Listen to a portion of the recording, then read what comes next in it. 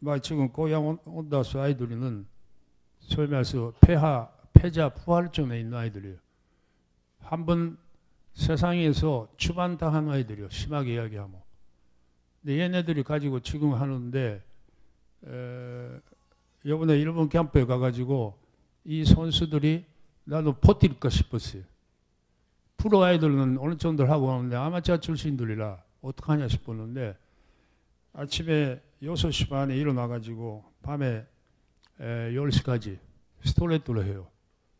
그러니까 저- 아침에 해가지고 밥 먹고 존심는 라면 한 그릇, 토는 우동 한 그릇. 여러분들보다 안 묻지 않냐 싶어요. 그것 갖고 2천 개, 3천 개 치고 받고 해요. 그러니까 에, 제일 많이 살 빠진 애가 18kg 빠져버렸어요. 한 두 달 안에. 근데 에, 나는 쓰러질 줄 알았는데 전부 다 버텼어요. 평균적으로 10kg, 10kg는 빠졌어요. 그래서 거기서 사람들이 에, 인간이라고 한 거는 생각이라고 한 거 그리 무섭구나 싶어요. 그거 애들이 나는 버티지 못할 줄 알았는데 버티더라고요. 근데 역시 자기 목적 의식이 강한 것만 있으면 얼마든지 섬에서 극복할 수 있는 능력이랄까 사람은 체력이라고 할까 이거는 갖고 있지 않냐 싶어요. 그러니까 그거는 에, 나 스스로가 많이 경험하고 왔는데 에, 나는 뭐 섬에서 암 수술도 했고 홀리 수술도 했고 에, 이번에 일본 가서는 다리도 맞았고 목을 맞아가지고 움직이지 못했어요. 걷지도 못했어요. 그 야구 밤매가 나한테 지팡이 꼴이 됐어요. 근데 밤에 다리로 움직이지 못해 아파서. 근데 그 속에서라도 본거 칠구는 쳤어요. 아프죠. 무리하죠. 근데 자기가 하고자 하는 뜻이 있으면 그 순간은 아픈 건 없어질 것 같아요. 나는 그런 식으로 살아왔는데 그것이 사람으로 강해지지 강하게 만드는가 만들어 가지 않냐 싶어요. 근데 여러분들의 자체도 에, 항상 어려울 때 아까 최악의 상태에서 최고라 그랬는데 사람이 인체라고 하면 100% 마지막 100% 매일이라고 하는 건 있을 수가 없어요. 컨디션이 70% 있겠고 50% 있을 때가 있지 않냐 싶어요. 그러나 그게서 뭐를 생각하냐면 50%대 50%밖에 안 한다. 또는 50%니까 오늘 쉬어야 되겠다. 이 개념은 패자의心理예요. 50% 벌려서 100% 내야 돼요. 그죠? 50%를 따질 때 약으로 볼 때는 힘이 50%밖에 없는데 산대가 100%예요. 그러니까 50% 갖고 산대 100% 어떻게 이기냐 문제예요. 모든 것들이 그런 식으로 움직여야 그걸. 그뭐 약으로 볼때 전력적으로 볼 때는 우리는 30%예요. 산대 산대만 70%예요. 안 된다고 생각하는 거는 영원히 못 이겨 이거. 그럼 여기서 70에 이기는 방법이 뭐냐? 이걸로 찾아 나가야 돼요. 그죠? 그러니까 에, 기술적으로 볼때 콧대 보이는 거는 30이에요. 그러나 안에서 하면 안에라고 하는 거는 뭐냐 할 때는 전력이 분석이에요. 데이터 분석이에요. 그죠? 그리고 에, 이기고자 하는 친념이에요. 이거 갖고 해야 돼요. 그리고 감독 같으면 감독이 직함이에요. 그러니까 이 케이스는 이 케이스를 일대 일대 움직이는 선수를 얼마큼 적재적소에 수냐 문제. 에, 전력이 30%대 케이스는 선수가 1대1을 볼 때 이 선수는 20% 또는 10%밖에 안 된 선수가 있어요. 보통 강한 팀은 10%면 버려요. 나는 안 버려요. 왜 안 버리냐면 이10% 어디서 쓰냐고 생각해요.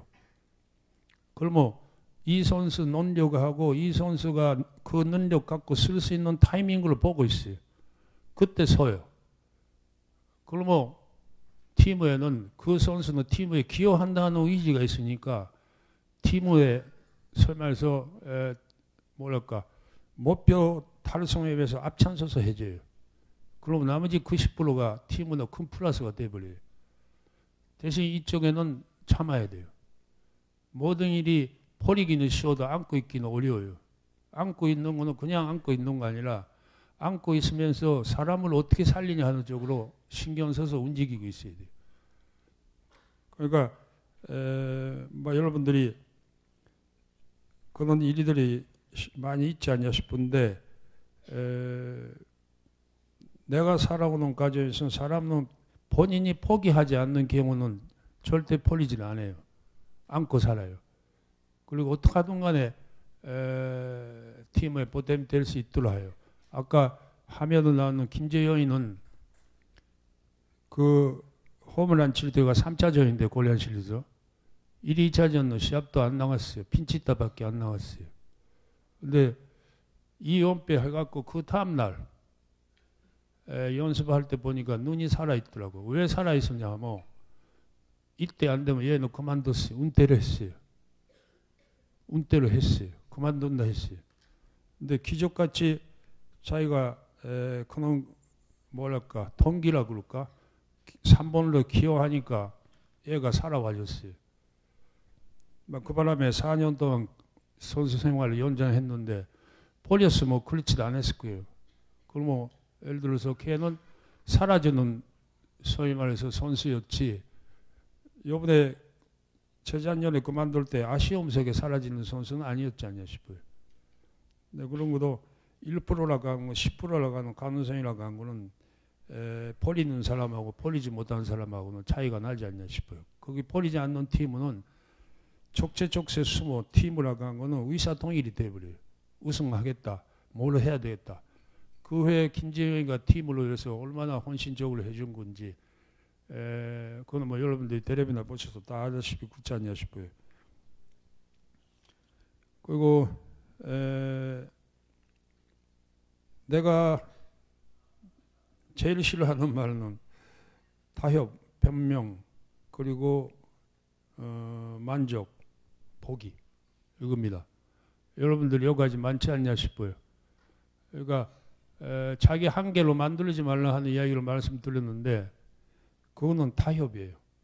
그죠? 타협을 하니까 나는 안 되겠다 싶은 거예요. 여러분들이 에, 내가 선수들하고 이야기하고 선수들 갖고 하는 이야기는 사람은 자기가 갖고 있는 참재 능력을 모르고 세상으로 도난 사람이 많아요. 그죠? 근데 존재라고 하는 사람들은 자기 노, 에, 참재 능력으로, 능력으로 개발을 하는 사람이에요. 그죠? 그러니까 노력이, 노력이 존재라 그래요. 그죠? 그러니까 자기 스스로 얼만큼 갖고 있는 힘이 있는 자체로 모르고 있는 거예요. 그거는 극한 상황에 가물어서 그걸 알 수가 있는 거예요. 이는 테이블 있으면 테이블의 가운데 있는 사람은 알 수가 없어요.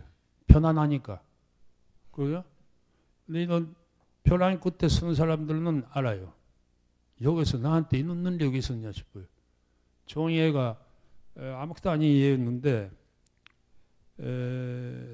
내가 조간집에 갔을 때 옆에서 풀났어요. 집에 에, 학교가.